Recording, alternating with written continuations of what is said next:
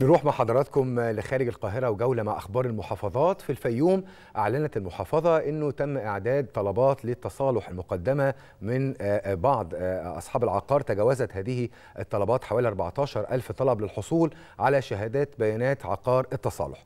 وفي كفر الشيخ تم بدء أعمال إنشاء مصنع تدوير المخلفات الصلبة على مساحة تصل إلى 12 فدان كمان في أسيوط تم توريد 193 ألف طن قمح للشون والصوامع ومراكز التجميع.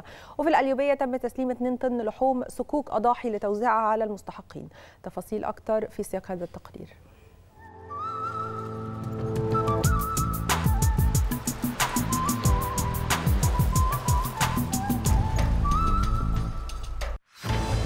محافظات مصر شهدت أخبار كتيرة. في الفيوم أعلنت المحافظة أن أعداد طلبات التصالح المقدمة حتى الآن بلغت 14100 طلب للحصول على شهادة بيانات عقار للتصالح والإجراءات اللي تم اتخاذها حيال تلك الطلبات من قبل جميع الإدارات والجهات المعنية وده مع قيام كل جهة بأعمالها على الوجه الأكمل لسرعة الانتهاء من استخراج شهادات البيانات للعقارات المقدمة للتصالح. في كفر الشيخ أعلنت المحافظة بدء أعمال إنشاء مصنع تدوير المخلفات الصلبة بقرية شاب بمدينة دسوق على مساحة 12 فدان بطاقة 600 طن يومياً وبيخدم مركزي دسوق وفوة وبيتم تنفيذ المشروع خلال 22 شهر. فأسيوط أكدت المحافظة أن هناك متابعة مستمرة ويومية لانتظام عمليات توريد القمح المحلي هذا العام حيث بلغ إجمالي ما تم توريده على مستوى المحافظة بالكامل 193 ألف طن قمح بمختلف المواقع التخزينية على مستوى مراكز ومدن المحافظة اللي بتبلغ 28 شونة وصومعة وهنجر ومركز تجميع.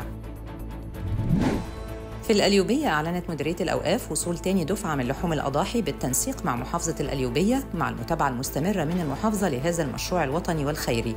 ووصل 2 طن من اللحوم وتم تسليمها للتضامن الاجتماعي لتوزيعها على الأسر الأولى بالرعاية وفق البيانات المسجلة لدى التضامن الاجتماعي.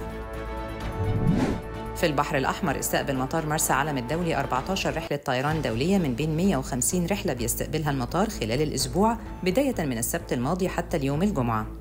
وبتجري السلطات المختصة داخل المطار عملية تسهيل الإجراءات للسياح الوافدين مع تطبيق الإجراءات الأمنية والاحترازية عليهم ثم نقلهم للفنادق المقرر إقامتهم فيها للاستمتاع بأجازتهم على شواطئ البحر الأحمر.